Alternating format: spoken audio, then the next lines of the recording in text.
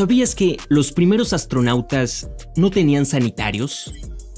El primer astronauta estadounidense y el segundo hombre en el espacio, Alan Shepard, se encontró en una situación muy, muy incómoda. Se suponía que su vuelo solo duraría 15 minutos, así que los ingenieros no instalaron ningún inodoro dentro de la nave espacial. Shepard ocupó su asiento en la nave aproximadamente una hora antes del lanzamiento programado, pero debido a las condiciones climáticas y problemas técnicos, el lanzamiento del cohete se retrasó dos horas. Alan Shepard estuvo acostado boca arriba en la nave espacial todo este tiempo. En un momento, sintió la necesidad de ir al baño. Lo informó al control de tierra, pero si Alan Shepard salía del cohete, el lanzamiento se retrasaría indefinidamente Así que, el control de tierra decidió no dejarlo salir. La única opción para él era tratar de aguantar. Al final, él tomó la decisión de hacerlo dentro del traje. Menos mal que su traje espacial y la ropa de abajo estaban hechos de algodón que es bastante absorbente y absorbía todo el líquido. Así que Alan Shepard completó todo el vuelo cómodamente y relativamente seco aunque evidentemente tuvo que apagar los sensores de su traje porque si estos se mojaban podrían causar un cortocircuito. Pero el primer hombre en el espacio, Yuri Gagarin, logró resolver el mismo problema antes de que se lanzara el cohete. Cuando lo transportaban al cohete en autobús, un par de minutos antes de que llegaran al cohete, pidió una parada e hizo sus necesidades.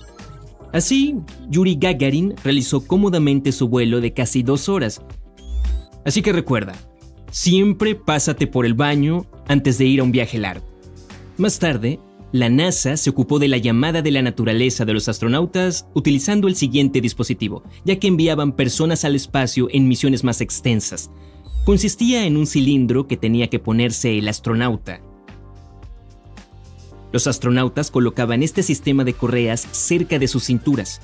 Este cilindro estaba conectado a una bolsa que recogía todos los residuos, ese fue el primer inodoro de la NASA. Cómodo y barato. La NASA también intentó experimentar con las dietas de los astronautas. Todo se trataba de una ralentización del proceso digestivo y prolongar el tiempo entre comer alimentos o beber agua y producir desechos. Uno de los astronautas, John Glenn, probó este método. Su vuelo alrededor de la Tierra duró unas 5 horas una dieta especial y medicamentos permitieron al astronauta evitar la llamada de la naturaleza durante un tiempo relativamente largo. Hizo su trabajo justo antes de volver a entrar en la atmósfera.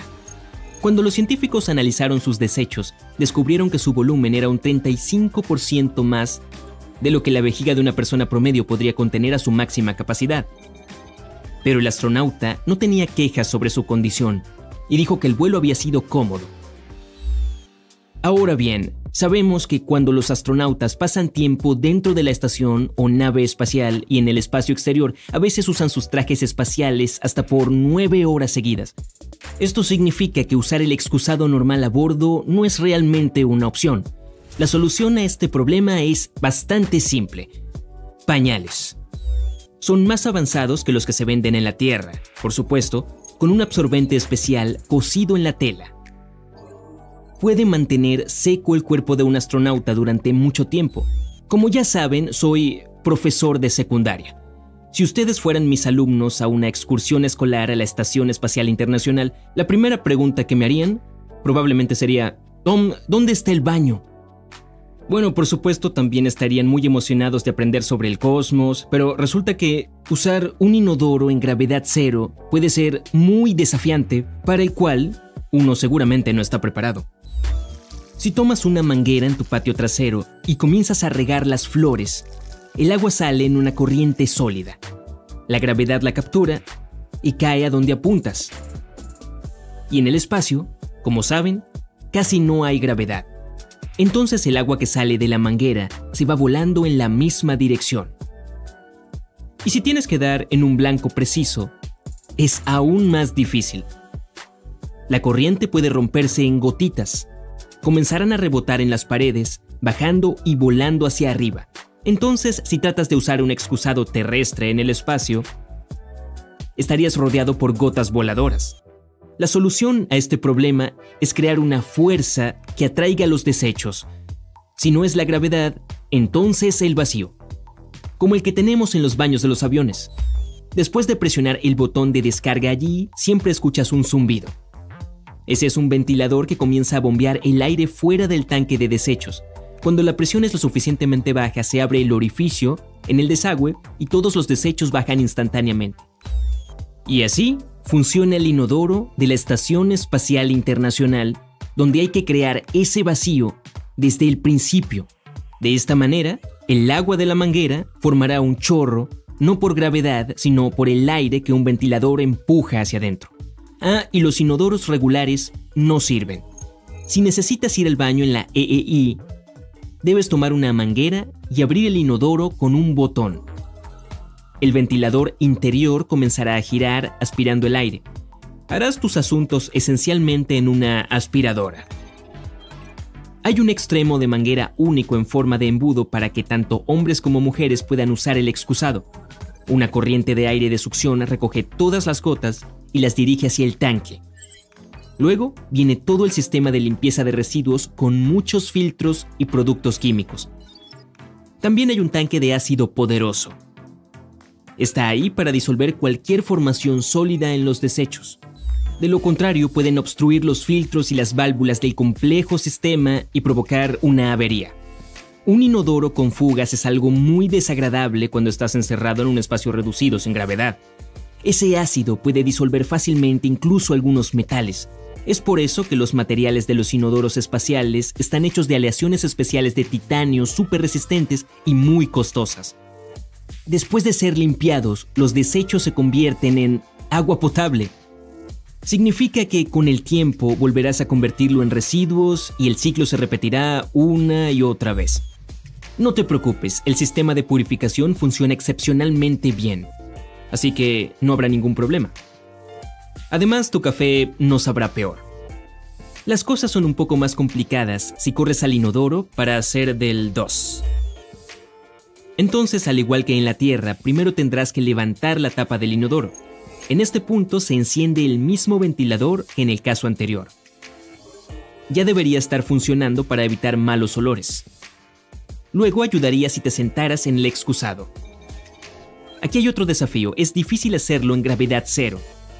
Así que hay correas para tus pies y asas para sujetarte. El ventilador hace su trabajo y tus desechos van al depósito de residuos. El papel y los pañuelos también van allí. Luego cada porción de desechos sólidos se coloca en una bolsa y se sella. Y luego el sistema envía estas bolsas de basura a un recipiente especial.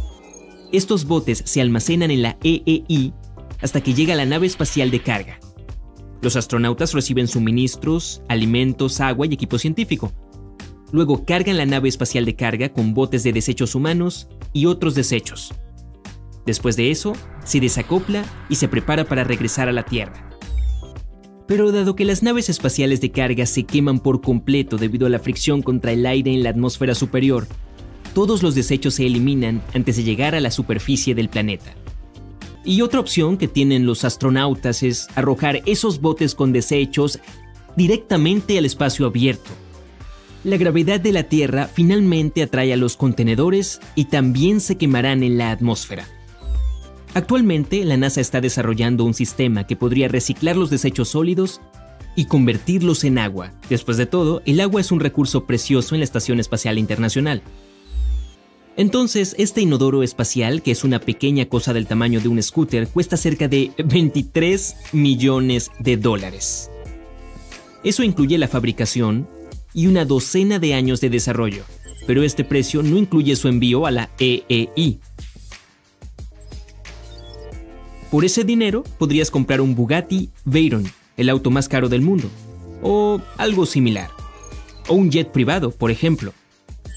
O puedes convertirte en dueño de una isla. De hecho, puedes comprar varias de ellas. Pero bueno, volvamos al espacio. El viaje comienza en la plataforma de lanzamiento. Se ensambla el cohete que luego entregará la carga a la EEI. He encendido. Los motores de los cohetes se encienden. queman cientos de kilos de combustible cada segundo.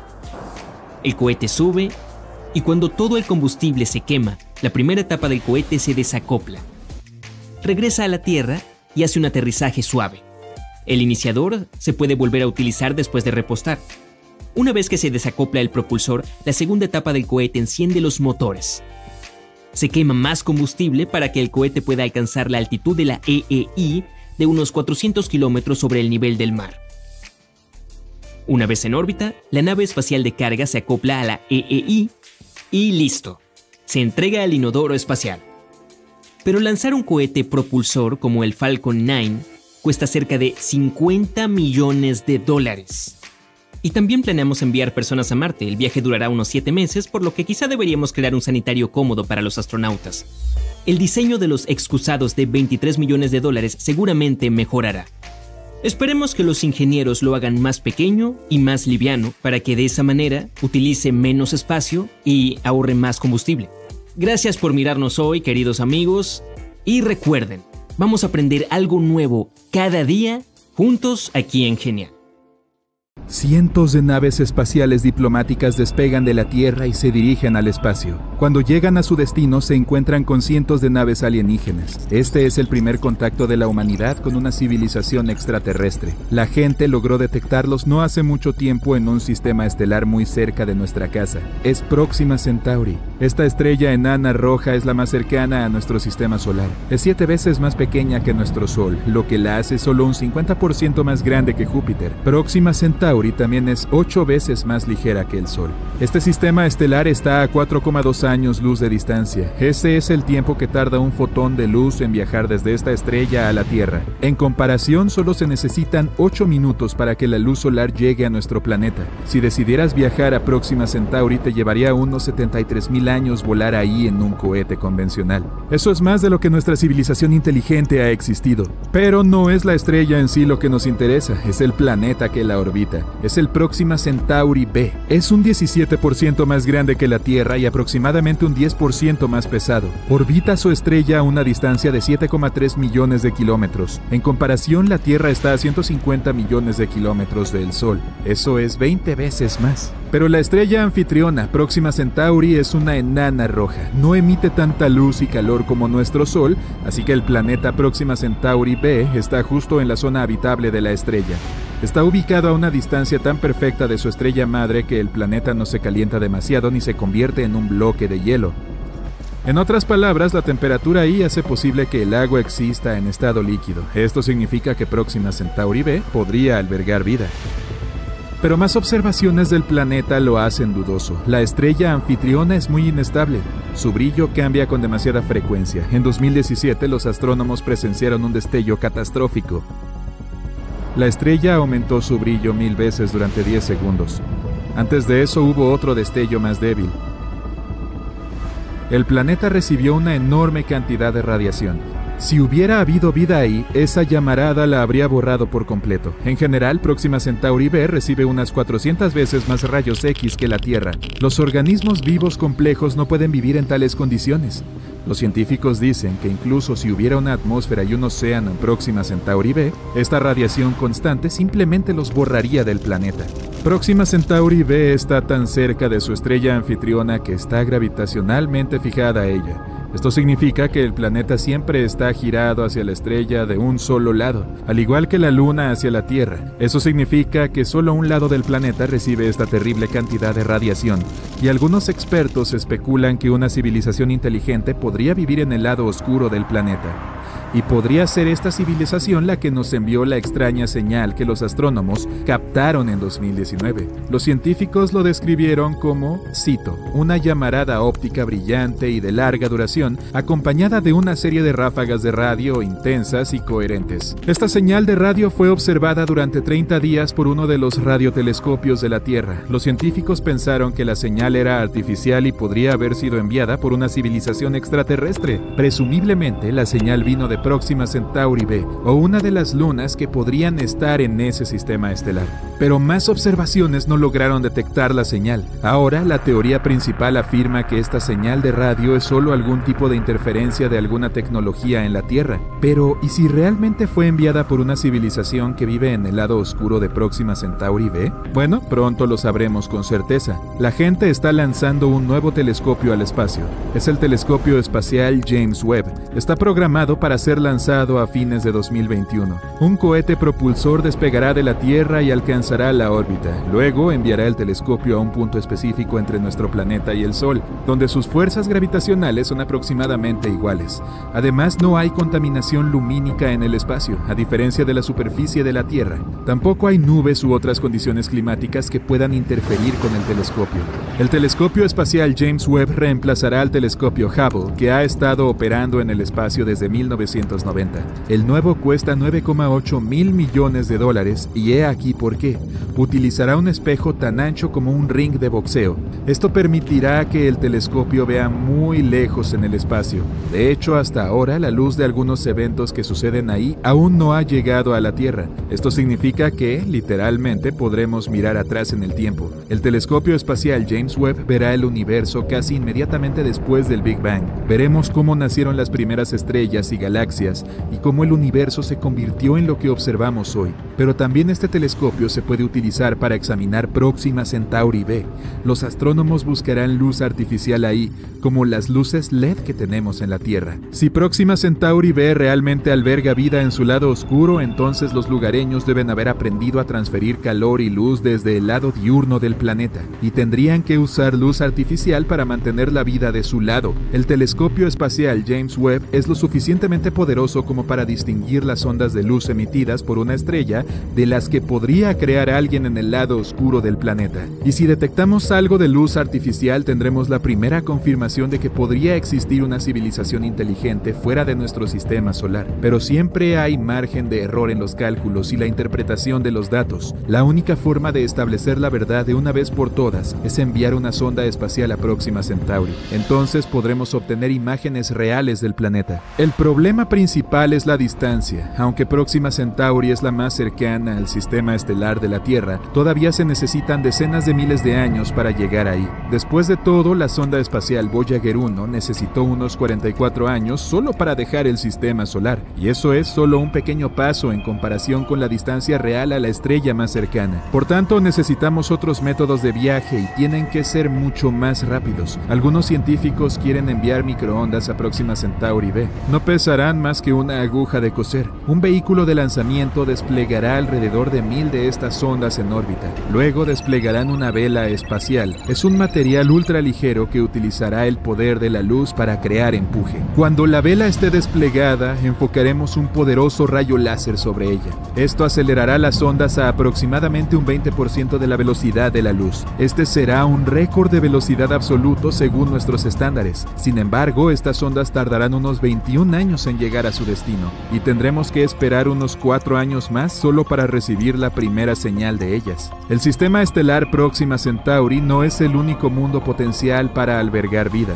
y una de las tareas del telescopio espacial James Webb es buscar otros mundos. Los poderosos instrumentos del telescopio le permitirán encontrar planetas relativamente fríos con temperaturas cercanas a las de la Tierra. Podremos estudiar en detalle alrededor de dos docenas de sistemas estelares cercanos y podremos detectar no solo los planetas en sí, sino también sus lunas. Los científicos esperan un auge en el descubrimiento de exoplanetas. Desde el inicio del funcionamiento del telescopio en 2022, constantemente detectaremos nuevos mundos y aprenderemos más sobre los ya descubiertos. El telescopio espacial James Webb también nos permitirá estudiar mejor nuestro propio sistema solar, la luna de Júpiter, Europa, por ejemplo, los científicos creen que podría haber agua ahí. Aunque Europa parece un bloque de hielo, la interacción gravitacional de la Luna con Júpiter calienta su núcleo. Eso probablemente hace que el hielo debajo de la superficie se derrita. Entonces, es probable que haya un océano debajo de la corteza de hielo. Podrían existir condiciones similares en Encélado,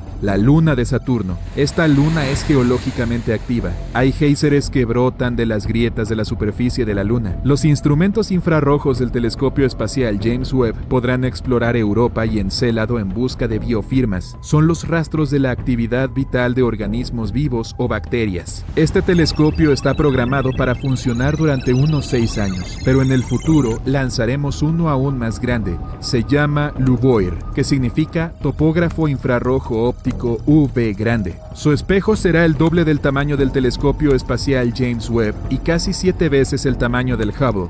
El lanzamiento del telescopio está programado para 2039. Lo pondremos en órbita con la ayuda de un cohete superpesado. Luego tendremos que llevar el telescopio a su destino a 1,5 millones de kilómetros de la Tierra. Y luego comenzará sus observaciones. Podríamos aprender a viajar más rápido que la velocidad de la luz en ese momento. Después, si encontramos un planeta potencialmente habitable con la ayuda del telescopio, podemos enviar una sonda espacial o incluso un equipo de exploradores ahí. En este caso, una reunión diplomática con una civilización extraterrestre podría convertirse en una realidad.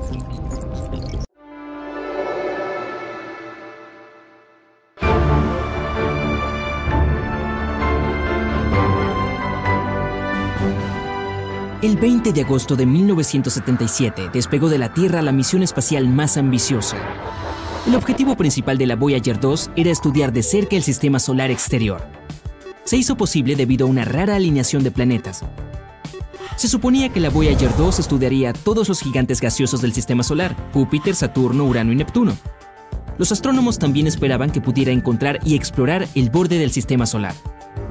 Dado que la Voyager 2 fue construida para viajes interestelares, la sonda estaba equipada con una antena grande de 4 metros de ancho. Permitió que la nave espacial enviara los datos recopilados a la Tierra. Durante su viaje, la sonda espacial descubrió una decimocuarta luna de Júpiter, la Voyager 2 fue la única nave espacial que estudió de cerca los cuatro planetas gigantes. Fue el primer objeto creado por humanos que pasó volando por Urano, donde encontró dos nuevos anillos y diez nuevas lunas. La Voyager 2 también pasó por Neptuno y notó su gran mancha oscura. Es una tormenta giratoria colosal en el hemisferio sur del planeta. La tormenta es del tamaño de la Tierra y se mueve a una velocidad de 2.400 km por hora.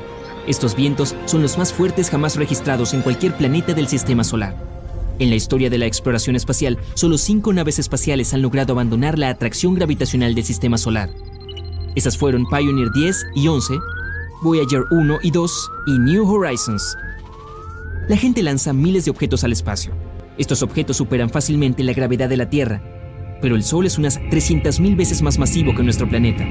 Es por eso que su atracción gravitacional es mucho más difícil de combatir. Aún más impresionante, la Voyager 2 es el segundo objeto creado por humanos en la historia que alcanza el espacio interestelar después de pasar por la heliosfera. Esa es una burbuja de campos magnéticos y partículas producidas por el Sol y que protegen el sistema solar. Dos años después de su lanzamiento, la Voyager 2 comenzó a transmitir las primeras imágenes de Júpiter. La sonda espacial proporcionó a los científicos información muy útil sobre Io y Europa, dos de las lunas más grandes de ese planeta. Luego la misión espacial pasó por el propio gigante gaseoso. La distancia entre la nave espacial y el planeta era de alrededor de 644.000 kilómetros.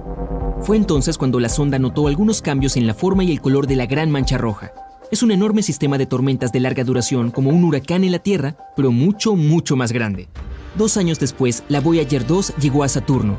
Descubrió radios y torceduras en algunos de los anillos del planeta, Mientras la nave espacial volaba detrás y más allá del gigante gaseoso, pasó a través del plano de los anillos de Saturno.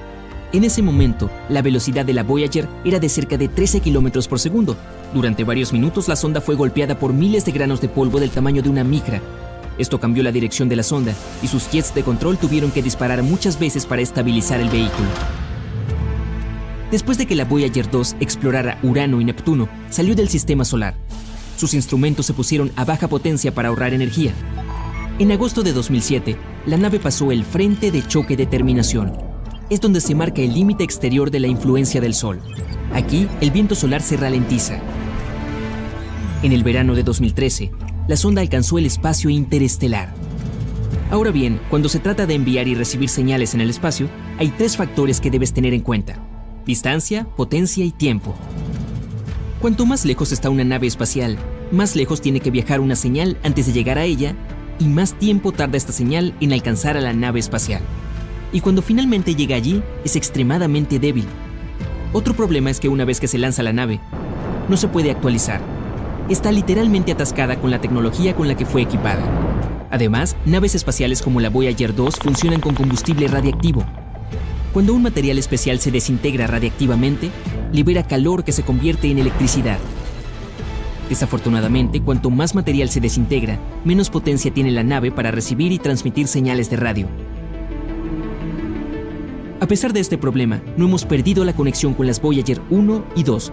Eso se debe a que aparecen tecnologías nuevas y más poderosas en la Tierra. Las señales que las personas envían pueden llegar mucho más lejos que antes. Es por eso que fue posible mantenerse en contacto con la Voyager 2, que ingresó al espacio interestelar en 2018 y ya se ha alejado casi 19 mil millones de kilómetros de la Tierra. Pero en marzo de 2020, el equipo principal que permitía a los científicos intercambiar señales con la nave espacial se apagó. Después de que se detuviera la comunicación con la nave espacial, la NASA pasó alrededor de 11 meses actualizando su red de espacio profundo e instalando nuevo hardware. El DSN es un conjunto internacional de enormes antenas de radio que ayudan a los astrónomos en la Tierra a comunicarse con misiones interplanetarias. Estas antenas se encuentran en California, Madrid y Canberra. La que se usa para mantenerse en contacto con la Voyager 2 es un plato de 70 metros de ancho en Canberra. Este es el único equipo que puede enviar comandos que pueden llegar a la sonda.